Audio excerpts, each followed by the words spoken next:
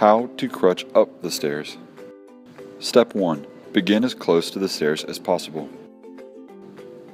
Step 2. Move the crutch closest to the railing to your opposite arm.